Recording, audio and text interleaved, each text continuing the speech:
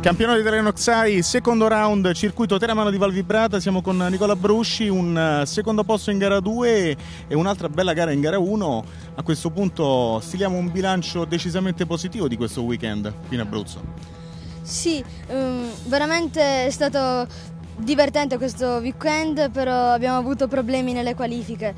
Potevamo fare molto meglio, penso un weekend eh, in cui avresti potuto fare meglio, ma che si stava concludendo con, eh, con, con una bella vittoria. Se non fosse stato per quell'ultimo giro, che cosa è successo in bagarre? No, allora io non volevo rischiare. Um, cioè non volevo rischiare a sorpassare Fusco perché questi punti mi servono per lo più per il campionato.